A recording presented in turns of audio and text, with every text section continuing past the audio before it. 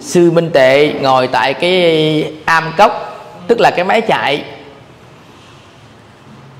và đặc biệt là trước khi ngày giờ đi chỗ khác đó, thì buổi sáng phật tử đến kính viếng thì chị gặp được cái hình ảnh là một cái chữ dạng. Mà cái chữ dạng này đó, đặc biệt là được chắc theo cái bằng cái đèn à, mình gọi là cái đèn lưu ly đó quý vị. Tức là cái đèn cày bằng chung đó.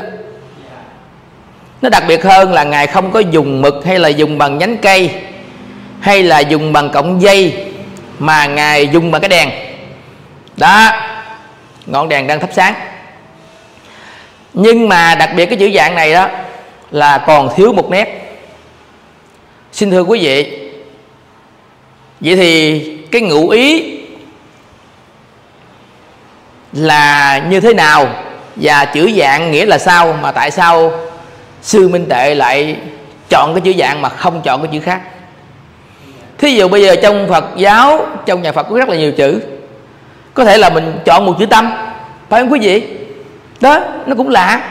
Thí dụ chữ tâm mà theo cái hình thể của chữ nho đó, là tam điểm như tinh tượng hoành câu tợ nguyệt tà, phi mau tùng thử đắc tác phật giả do tha. Định nghĩa nè, ba điểm như sau thường sáng chói. Hoành câu xem tợ mặt chăn tà. Mang long đội sừng đều do đó mà thành phật thánh tiên cũng nói ra. Bởi vì cái chữ tâm mà quỷ hay ma, tiên hay phật cũng là tại nó. Hay là có thể viết một chữ nhẫn chữ nhẫn là chịu đựng hay là nhẫn nại? Đó hoặc giả là chọn một cái chữ là chữ khác dân dân nhưng mà đặc biệt thì sư minh tệ lại chọn một cái chữ dạng mà chữ dạng này còn thiếu một nét nữa chứ. Xin thưa quý vị, đây là cái chữ dạng. Trước khi mà sư minh tệ ra đi và được sách bằng cái cái đèn cày là mình gọi là cái đèn lưu ly đi, tức là cái cái đèn, cái chung đèn cày đó quý vị, được thắp sáng. Mà đặc biệt là còn thiếu một nét. Vậy thì trước tiên chữ dạng là như thế nào nó liên quan đến nhà Phật? Thì cô bác mình thấy là chúng ta từng đi chùa hay là đến những cái nơi thờ tự, thì mình thấy là ở trong nhà chùa thường có cái biểu tượng là chữ dạng. Hay là ngay trước ngực của Đức Phật, Tổ Thích Ca Như Lai thì cũng có vẽ cái chữ dạng. Đó, tại sao chọn cái vậy quý vị? Vì chữ dạng này nó liên quan rất là nhiều về vấn đề tín ngưỡng tâm linh, đó về vấn đề là tu học. Thí dụ đầu tiên, thì trong kinh đức phật có một câu thế này nè. Nhất thiết do tâm tạo. Phải không cô bác chị em? Câu thứ hai là sao? Dạng pháp do tâm sanh. Tâm sanh, chủng chủng pháp sanh mà tâm diệt thì chủng chủng pháp diệt. Còn đó về cái câu mà chúc ở người à, người thế gian tức là mình đây. Muốn cho người khác được đó là sao quý vị? Có ai nhớ cái dạng chút sao nè? Có ai nhớ không? Xin nhắc lại nghe. Thường thường gần tết thì chúng ta gặp cái chữ này qua zalo, tin nhắn hay là những cái lời chúc là sao? Dạng sự như ý. Phải không quý vị? Tức là dạng sự như ý cũng là dạng. Tại sao không dùng cái số khác? Ví dụ như chữ dạng này chưa phải là lớn. Chữ tỷ mới lớn chứ chứ tỷ chưa gọi là lớn mà chữ ức nó lớn hơn nữa. Đó, nhưng mà tại sao không dùng? Mà đa số đều lấy chữ dạng dạng sự như ý, dạng sự kiết tường, dạng sự may mắn. Đó, như vậy thì ở đây cái chữ dạng này, nếu đúng cái nghĩa thứ nhất đó là cát tường, hay gọi là kiết tường. Tức là nói lên cái sự thành công, may mắn, tốt, đẹp thành tựu nó đều liên quan. Dưới chữ dạng nghe quý vị.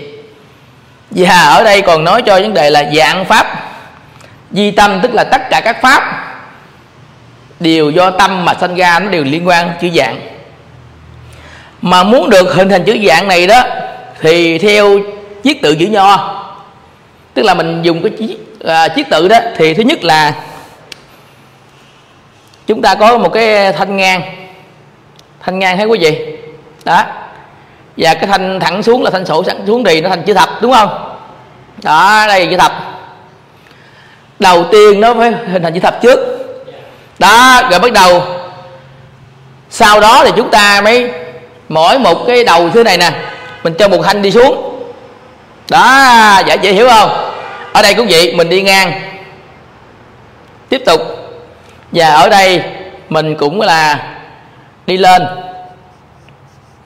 tại vì hôm nay chữ này phải minh họa nghe các bác, mình theo dõi mới hiểu nghĩa đó. Nhưng mà đặc biệt chữ dạng của sư minh tuệ là còn thiếu một nét này là nét này.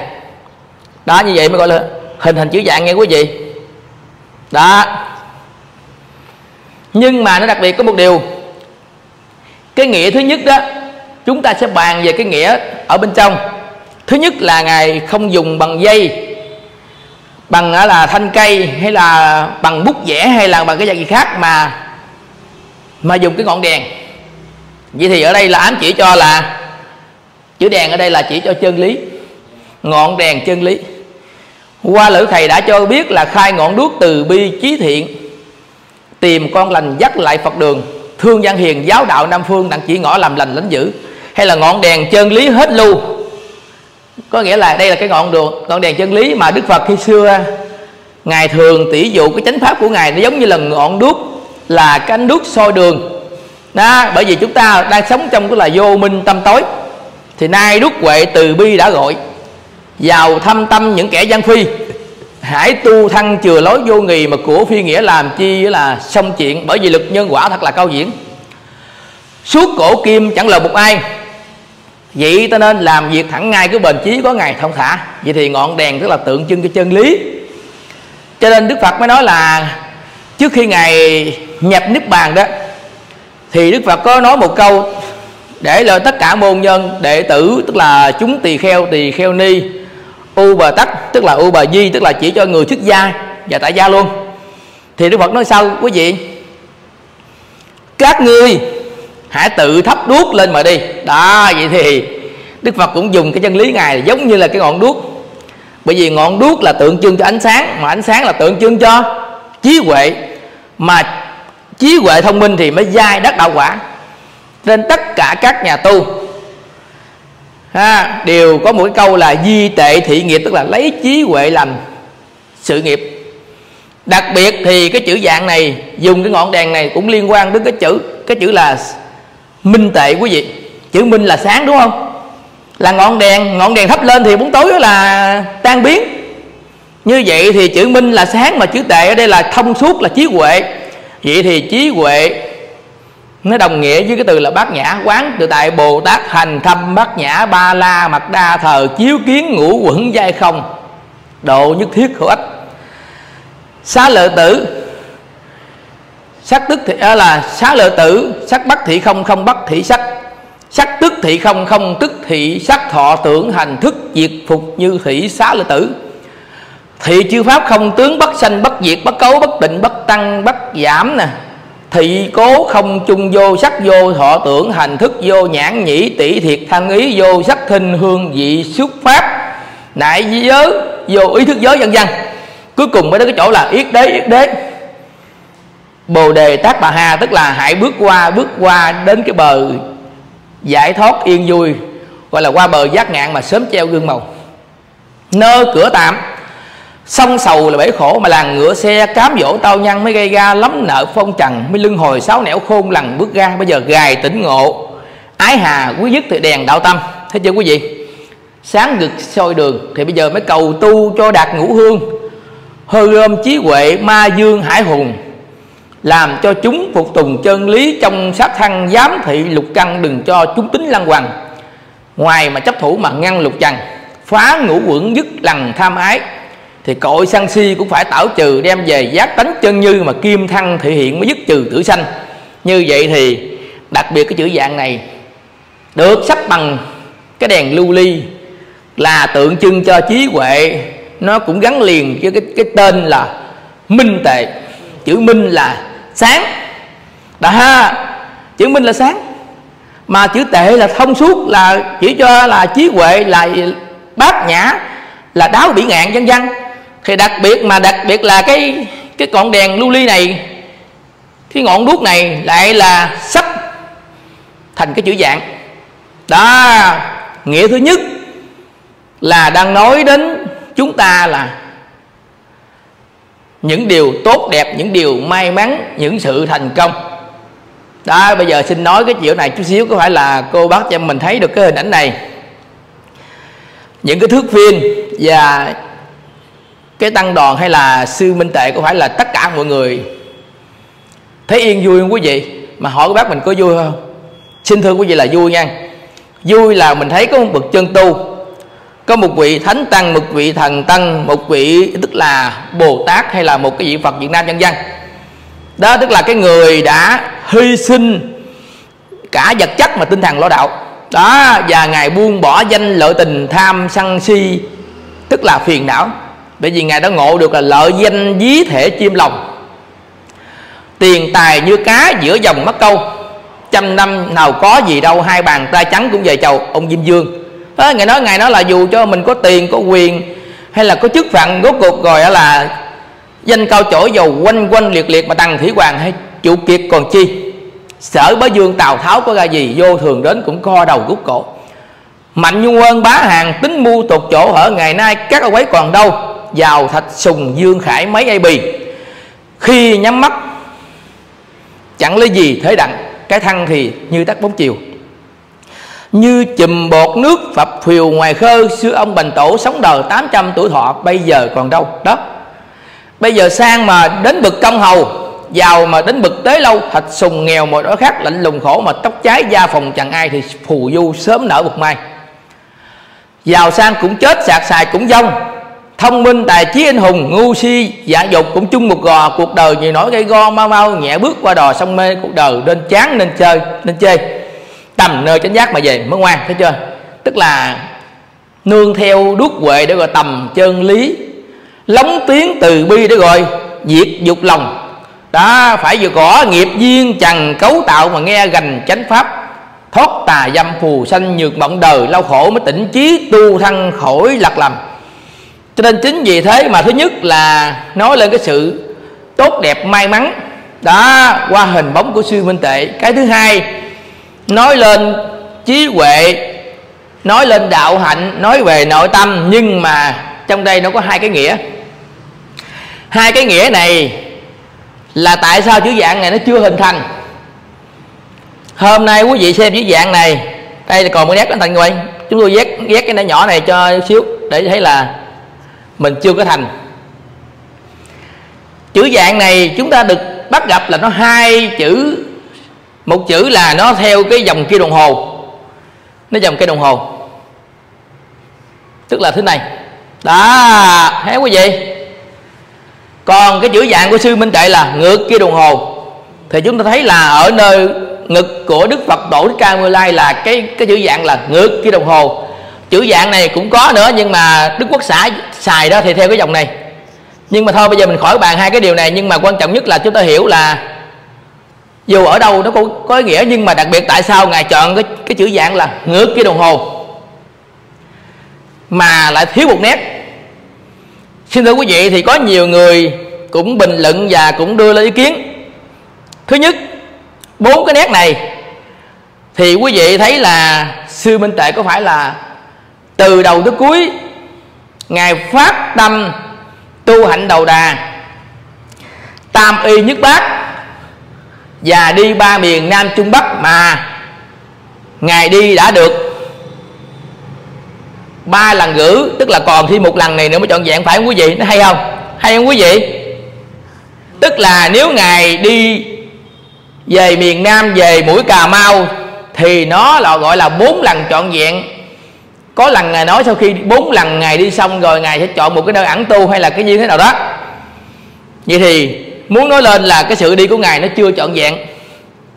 Nghĩa thứ nhất nghe, có nhiều người bàn nghĩa này cũng hay ra các bác mà đồng tình thì mình cũng ờ, gợi ý bàn ha. Mình có thể hiểu ý của sư minh tệ. Thứ nhất là ngài chưa có đi trọn vẹn theo cái cái lời pháp nguyện, ha. Cái sự mong muốn của ngài.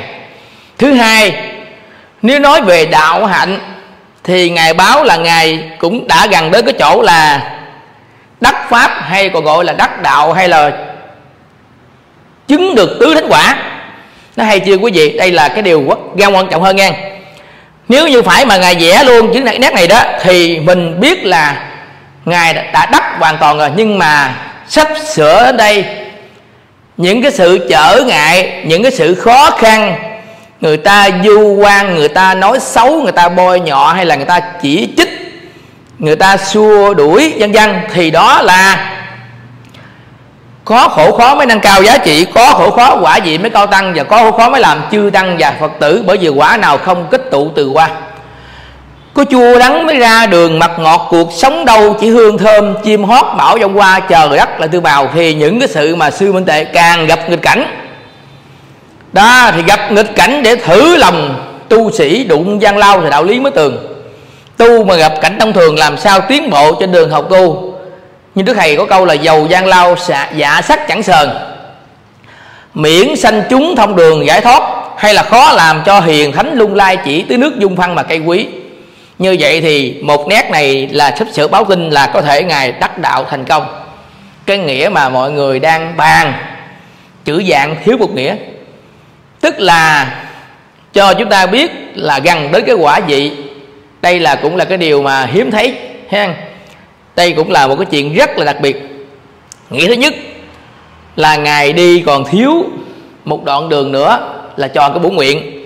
Sau khi bốn lần đi bộ từ miền nam ra miền bắc, mà ngài hiện nay là dừng ở tại quê nhà là tỉnh gia lai, đúng không quý vị? Thì nếu như sắp tới đây thượng viên đủ điều kiện, ngài sẽ bộ hành đi chọn dạng theo cái hình chữ dạng này. Mà đặc biệt là chữ dạng này ngài chọn là ngược kia đồng hồ. Xin thưa quý vị, ngược kia đồng hồ ở đây đó, thì mình thấy là những việc làm của sư gần đây hoàn toàn là nó đi ngược. Theo cái chuyện là trước đây, giống như một câu nói thế này nè, đi ngược dòng đời là mình đi nẻo đạo. Đó người ta ăn mặn, mình ăn chay, người ta nói dai, mình nhẫn nhục. Người ta ham thể dục, mình ăn phận nghèo, người ta đi o mèo, mình đi cầu nguyện. Người ta thích nhiều chuyện, mình thích yên vui. Người ta tu lùi, mình tu tiến, người ta làm biến mình siêng năng, người ta lăn xăng, mình đầm thấm người ta ăn nước mắm, mình ăn nước tương, mình về tây phương, người ta ở lại. Bây giờ mọi người ăn mặc sang trọng tốt đẹp, giống như, thì bây giờ hôm nay sư minh tệ chọn cái áo là cái y phấn tạo là những cái giải gách người ta quăng bỏ ở bên lề đường, ở thùng rác. đó, có phải là ngược không quý vị? Đi ngược không? Rồi bây giờ thí dụ trước đây, đó, người ta rất là sợ nghèo, thì hôm nay ngài đóng cái vai nghèo này để độ tất cả những người nghèo. Hôm nay nhờ hình bóng của si minh tệ mà những người nghèo đã biết tin tưởng tam bảo và mạnh dạng phát tâm mình nghèo mà có thể tu được nếu mình ngay thẳng trơn chánh. Nghèo mà thanh hơn giàu mà trượt lo vô chồng cọ phước gì sao? Bây giờ người ta ăn sung mặc sướng, ngủ là niệm ấm chăn im thì ngài chọn cái nơi là ngủ bờ, ngủ bụi, bóng cây nghĩa địa nhà quan. Thấy chưa quý vị, có phải là là là mình đi ngược không? Cho nên chỗ này bởi vì cái đức thầy cho biết là sao quý vị? Bởi vì từ trước tới giờ đó, sáng người ta là cờ tướng bia chiều lăn lăn đi quán nhậu tối cô cậu đi quán quy ôm, đêm hôm chợm gà cấp dịch hôm nay mình đi ngược lại, sáng mình cúng lại, trưa mình làm lành. Chiều mình niệm phật, tối mình xem kinh. Trao tâm luyện tánh cho mình mà chuyên lo, niệm phật sửa mình cho trơn. Đó. Rồi bây giờ, cũng như tại sao ngày đi ngược, xưa nay người ta chủ trương chùa to phật lớn, sơn son phết vàng, đúng không? Hôm nay sư minh tệ là qua sông nhờ được cầu lam tu hành nào đỡ, chùa ao làm gì? Mà vẫn được hàng triệu hàng triệu người kính mến. Cho nên cái chỗ mà sư để cái chỗ mà chữ dạng này đó, tuy là ngài đã ra đi xa vắng rồi, nhưng mà còn rất là nhiều người đến đó để kính viếng, lễ bái qua cái hình bóng. Cho nên mới được cư dân mạng cho biết là cái chùa này là lớn nhất hiện nay. Lớn ở đây là cái ảnh hưởng người ta mong muốn trở về đó đảnh lễ cúng dường thăm viếng mà còn không được quý vị. Đường xá cũng khó khăn. Đó như vậy thì hôm nay qua cái chữ dạng này thì phước nghiêm đã có trao đổi rồi. Thứ nhất là nói lên cái cái nghĩa của ngài đang tu. À, dùng cái đèn thắp lên ánh sáng đó để kêu gọi mọi người giác ngộ thức tỉnh tu hành. Nhưng đức thầy đã có câu là chờ quá buổi, chinh chinh vừa xế, chờ ít lâu cũng lặng về tay lúc bình hôn đèn chí sau đầy tìm nẻo thẳng mà đi về cực lạc.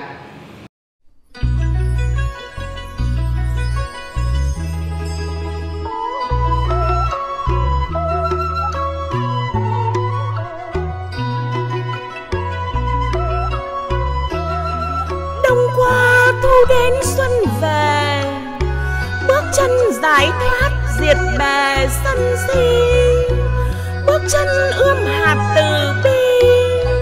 Tỏa hương thơm ngát người đi khắp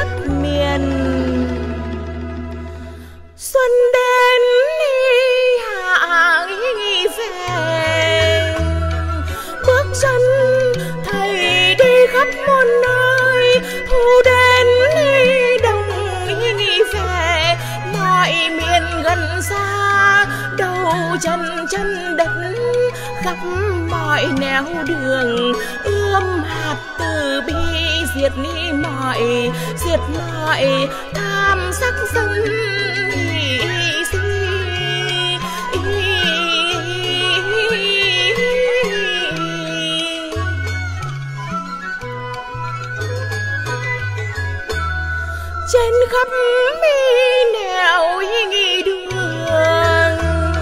Người đi ươm hạt từ bi trên khắp mi nẻo nghi đường. Mang hạnh phúc muôn nơi người người hoan hỉ tâm mi đức dạng lời hát tục trần gian nguyện một lòng, dâng hiến dâng hiến tuổi